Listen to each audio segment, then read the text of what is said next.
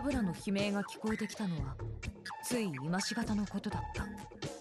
すでにミヤケンコスを着用していた俺は素早く窓から外へと飛び出し糸の部屋の前に張り付いた。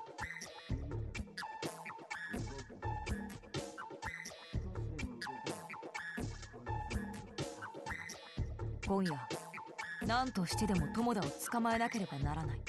あいつの体を乗っ取っている坪内から真相を聞きそれからもう一つ理由があった。このままあいつを野放しにしておけば糸の同級生が3人殺されてしまう。最初の犠牲者は小路芽衣子。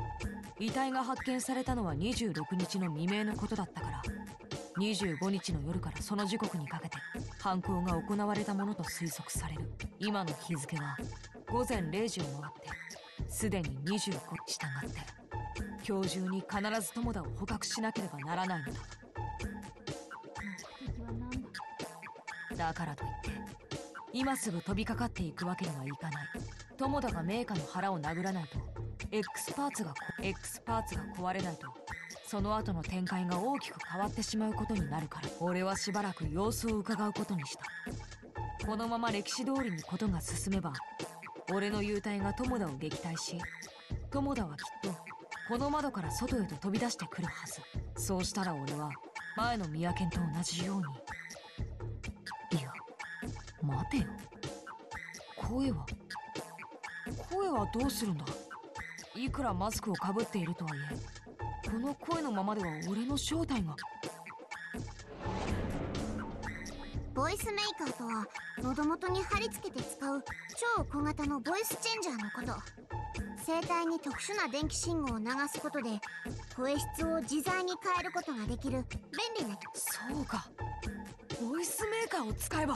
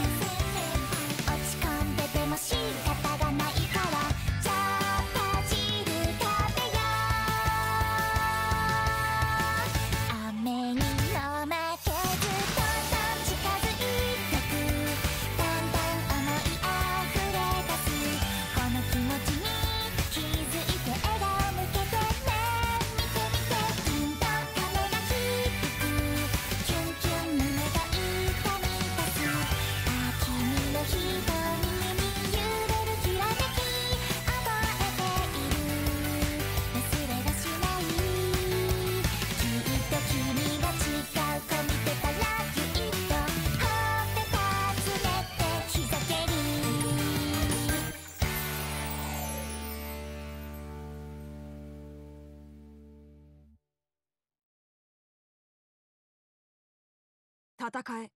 宮沢賢治。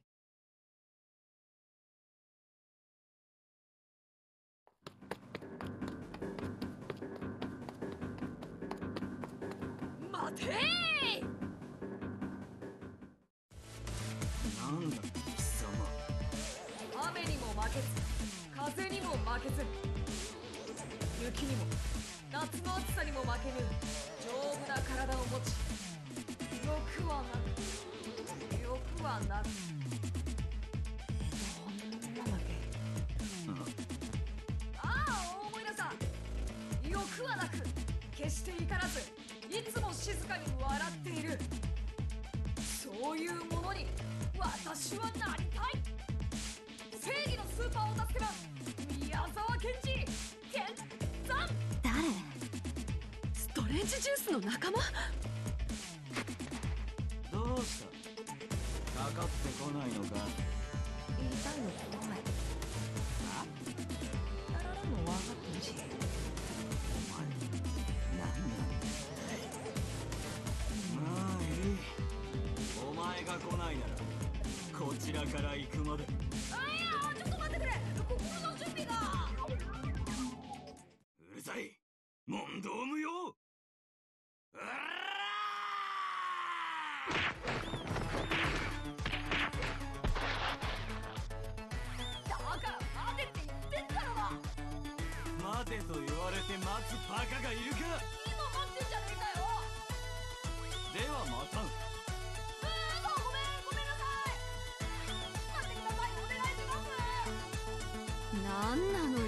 めちゃくちゃ弱いじゃない。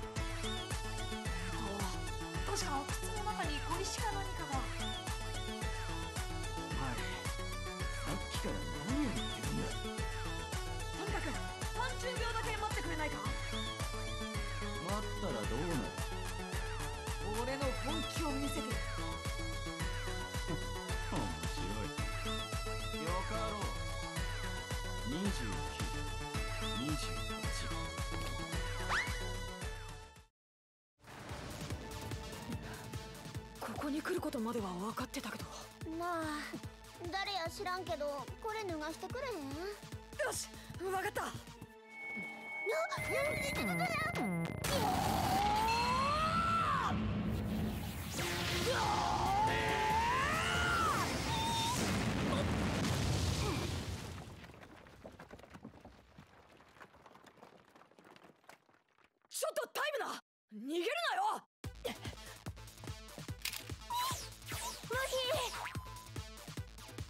約束の褒美をくれてやるぜ。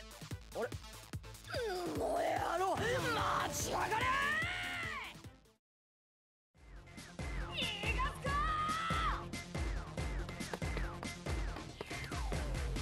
俺は走りながら考えた。本当にこのまま友田を捕まえてしまっていいのだろうかと。チラノスケの掟その1オイラが許可しない限り歴史を変えてはならない。しかし壺内から真相を聞き出すには絶好のチャンス。この機会を逃すわけには。これまでに何十億という貴様たちがそのピアノ線から足を踏み外して落ちていった。失敗したのらよそいつらは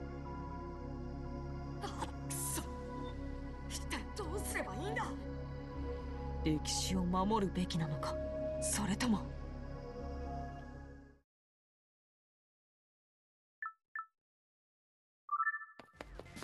いや何を考えてるんだ俺は。そんなこと迷うまでもないだろこのまま友田を野放しにすれば3人の犠牲者が出てしまうことになる。もちろん意図にひどいことをした連中だというのは分かってだからといって命まで奪っていいということにはならない。たとえどんな奴であろうと誰かが殺されるのを黙って見過ごすわけにはいかないんだ。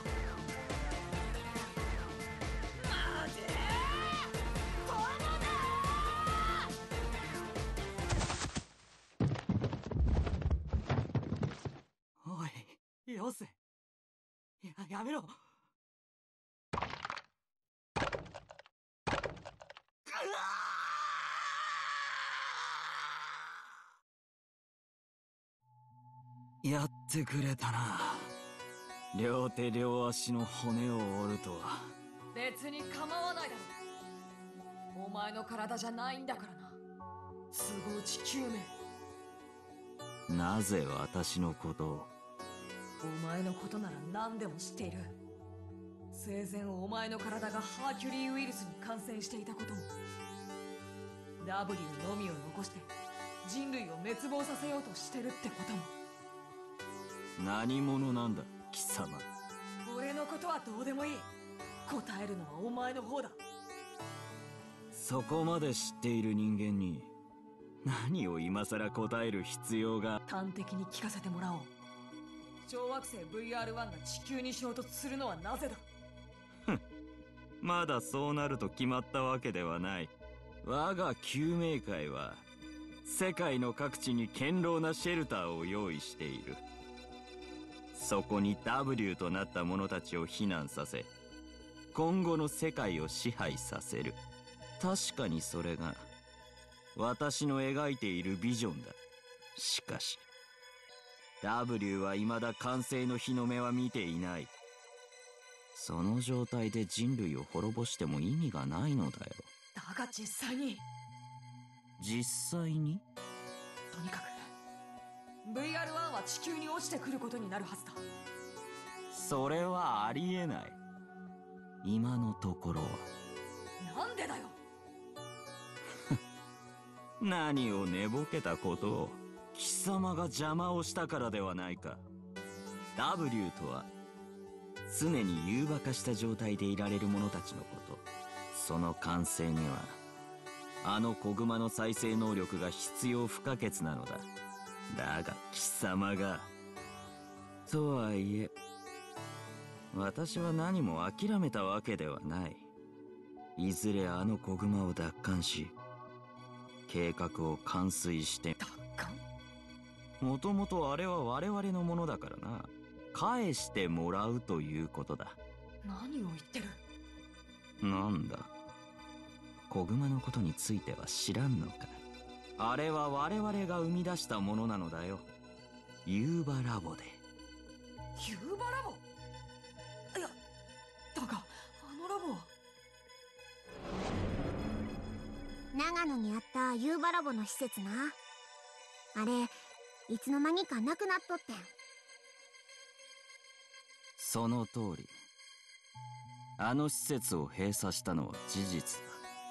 今から9年前のことになるある研究員が謀反を起こし3名の実験体を連れて逃亡を当時警察は我々の手中にあった。だがマスコミにリークされれば組織の存続が危ぶまれる。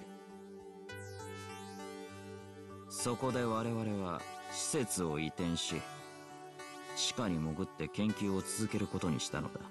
その研究の成果が待て。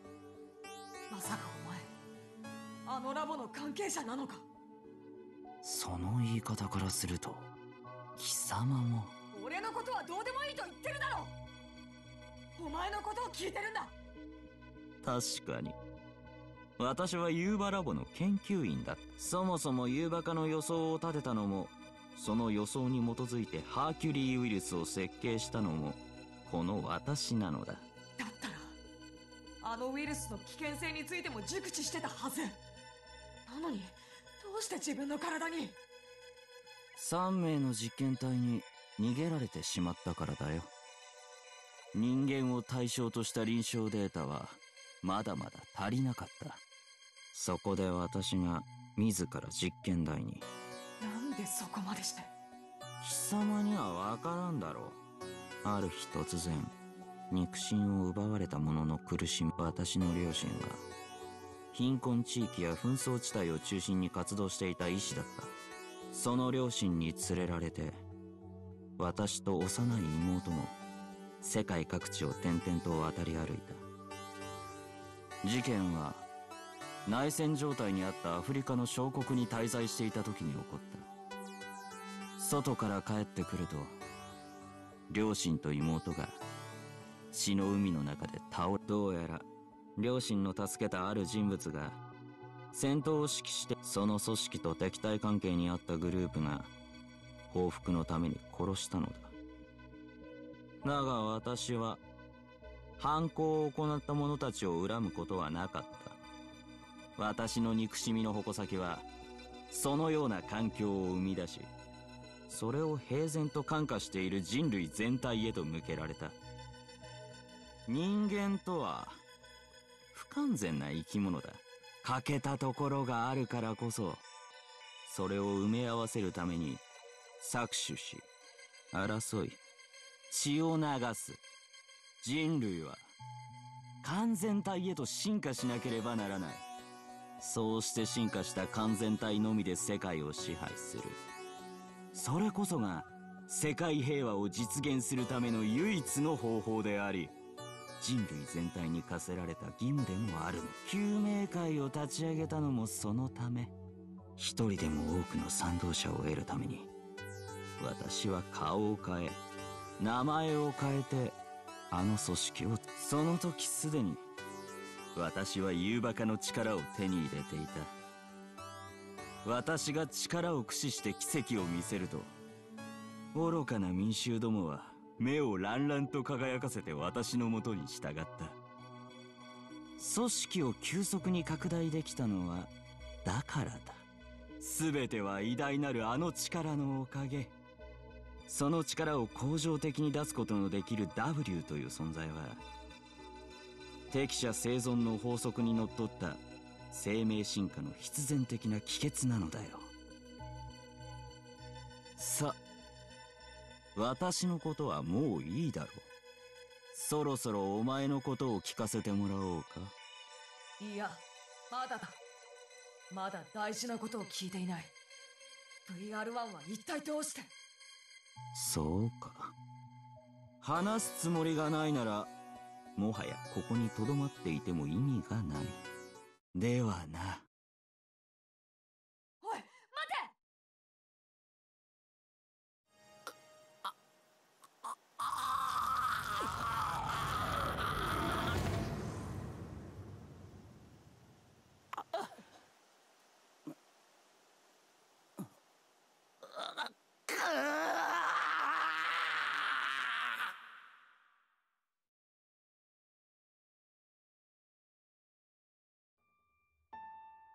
であんなことをしたのら。オイラがいいって言うまで歴史を変えちゃダメって言ったろだったら警察にでも引き渡せばよかったっていうのか。そんなことをしたってすぐに釈放されるに決まってる。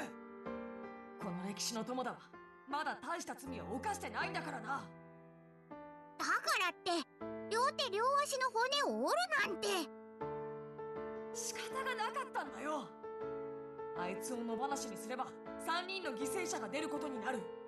しばらくの間奴の身動きを封じておく必要があったんだ。あの後友田は激痛のために意識を失い叩いてもゆすっても目を覚ますことはなかった。やむを得ず俺は公園の中にあった公衆電話で119番通報そうして古来館へと引き返す途中で白之助と出会ったのだった。はあ。たかだか3人のためにしかもその3人は糸にひどい仕打ちをしたゴミくずみたいな連中だっていうのに。だからあの3人は殺されてもよかったっていうのか。ああそうだよ。70億の命を救うには少々の犠牲はやむを得ないのら白之助お前。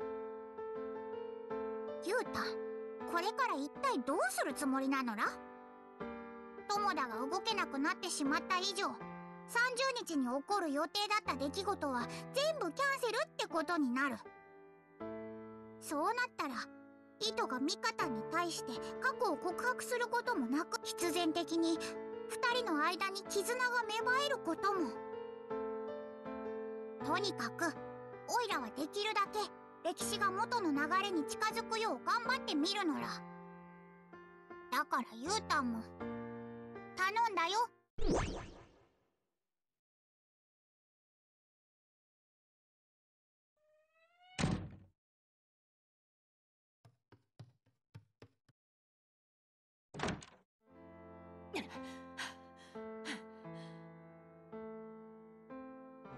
お前はさっきの。もう脅かさないでよね。亀男が戻ってきたのかと思ったじゃない。ああ亀男っちゅうのはさっきの男のことな。であいつは？俺は話せることだけを適当にかいつまんで事情を説明した。はあそうか。ほなあの男が戻ってくることはもうないんやな。ああ勝ってでも来ない限りはな。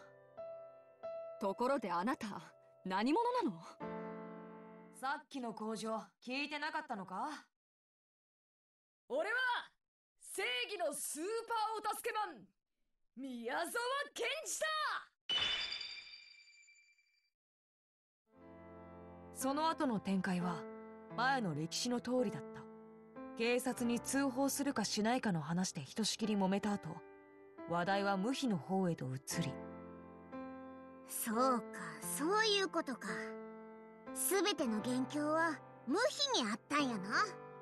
ほんならやっぱり無比はここには置いてはおけん。ちょちょっとさっきと言ってることが真逆じゃない。さっきはさっき今は今よ。うちが保健所に連れてったる。せやか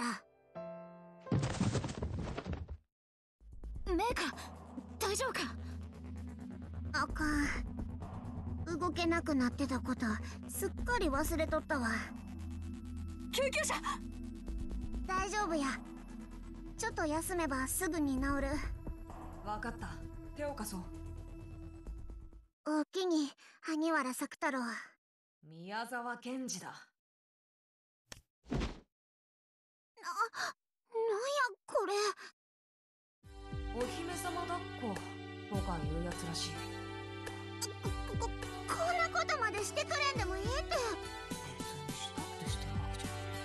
あいやそのこう見えて私は紳士なのでね。体が勝手に動いてしまうのだよ。うわ寒いも立つわそのセリフ。お前に言われたくはない。なんでよ。とにかく気にするなメガこういう運命だった運命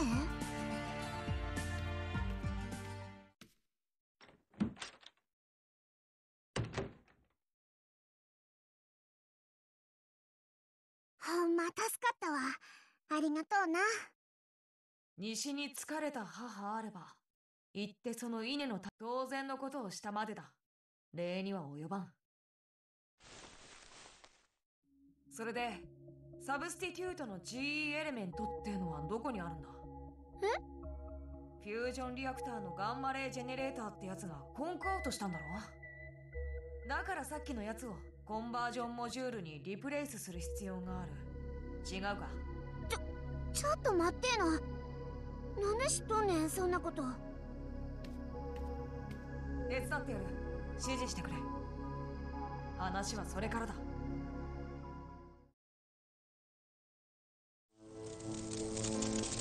なあ。そろそろ教えてくれてもええんちゃう？なんであんたが知っとんねん？うちの秘密。星が教えてくれたから。寒さっきと同じだよ。これも運命みたいなもんだ。運命ってなんやねん？夜中の2時に食べる豚骨ラーメンのこと。それは運命やろ？ますます寒いわメーカお前に言っておかなければならないことがある。とても大事な話だ。聞いてくれ。実は。ティラノスケの掟その2他の人間には一切真実を伝えてはならない。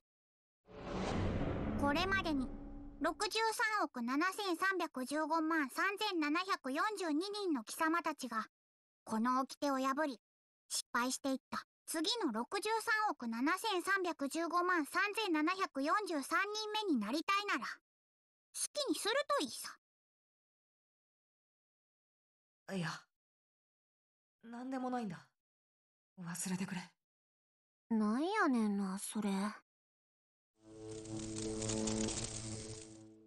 せやけどまあしつこく聞いたりはせえへん。なんでだよ。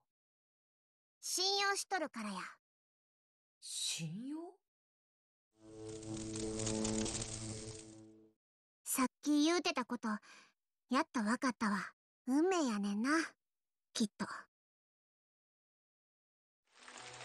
メーカそろそろお迎えが来たようや。最後にもう一度だけ確かめさせてくれ。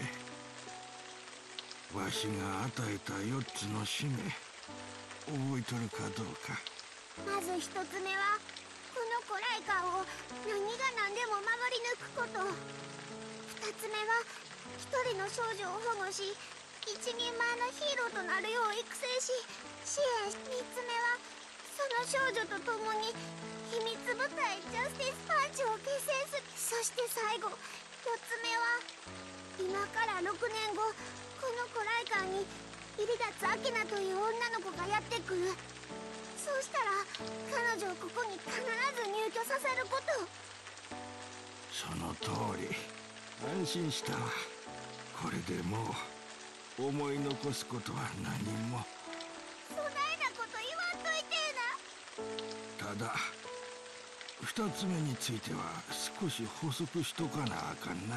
お前がその少女に会うことになるのは今日や。今場所と時刻については机の上のメモに書いてある。後でそれを読め。せやけどうち肝心なこと教えてもろてへんで。その子の顔と名前や。大丈夫や。行けばわかる。その子を見ればすぐにな。メーカー。彼女のことよろしく頼むで。お前は彼女を守ったらなあかん。人類を救うために。おじい。もちろん人類のために戦うのは彼女だけ。お前もジャスティスパンチのメンバーの一人や。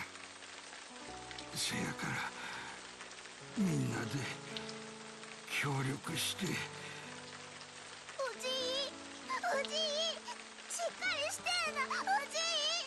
うちおじいがいなくなってもうたらどうしてええのか。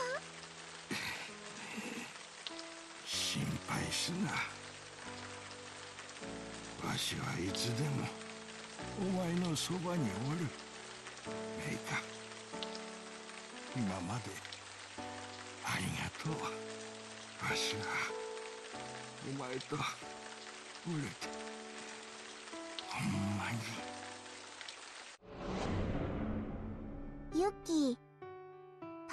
るんか？食べてみたらええうんうん。どうや？うまいか？うん。ようわからん。ただ口ん中が100個だけや。おじいは塩辛いな。塩辛くてぬくいわ そうか。塩辛くてぬくいか。ぬくいんはええこっちゃ。生きてる証やさかいな。ぬくいええこと。生きてる証おじいおじいおじ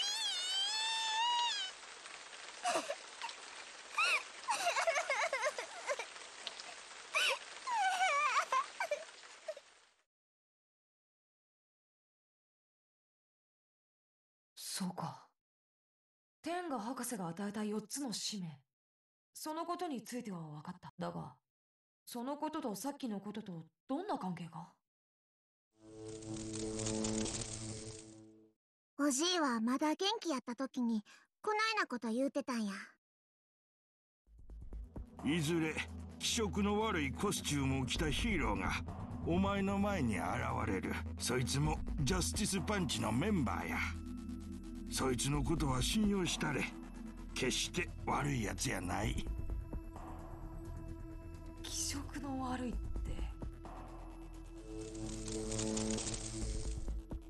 あいやそんなことはどうでもいいな。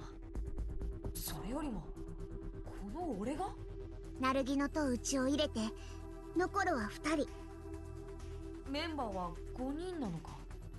ああジャスティスパンチのパンチはヒンディー語で数字の5を意味する。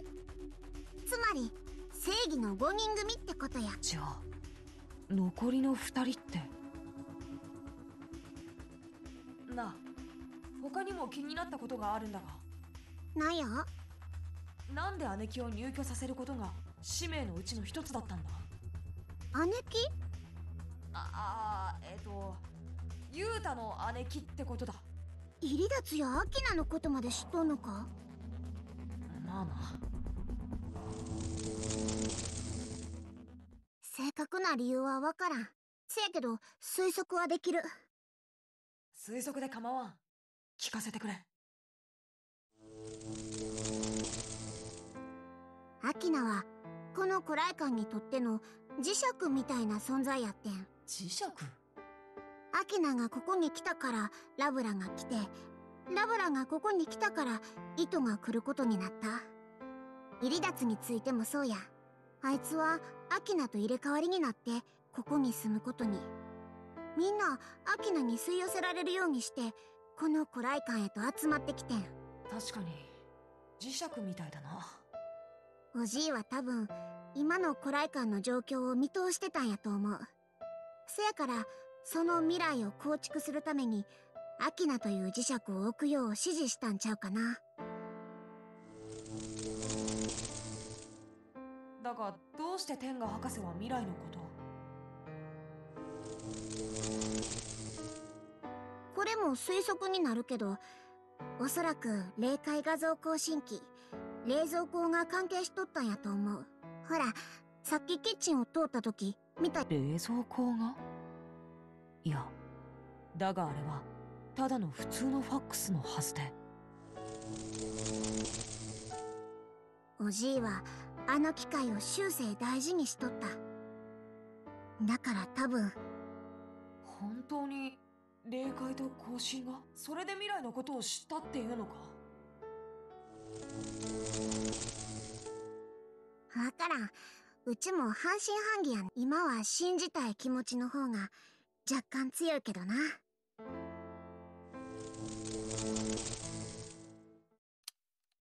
し修理完了と。